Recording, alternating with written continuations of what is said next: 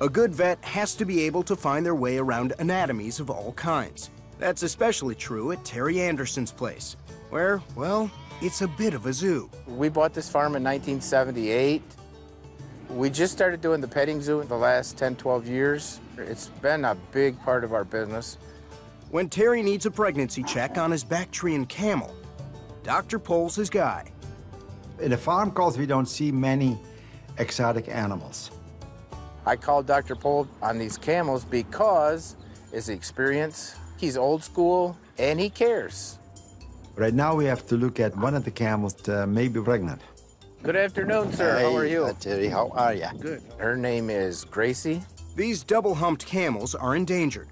There are fewer than a thousand left in the wild, but there are millions like Gracie that have been domesticated. If she has a baby for us, that'd be the first time we had a baby camel born on this farm, so we're kind of hoping that she's pregnant. And now you put the ropes on the legs, right? Yep. A pregnancy check on a camel looks an awful lot like one for a cow, with one critical difference. These guys will get her tied up so she can't kick you. These camels are tall and their feet are very strong, and I think they kick a lot worse than cows or horses. They kick like a mule, any which way but loose. Any direction. With her leg trussed up, time to see if Gracie has a bump to go with her humps.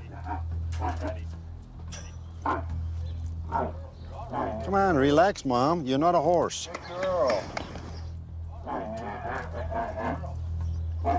I don't feel anything in there. Okay. I felt the uterus, but nothing else.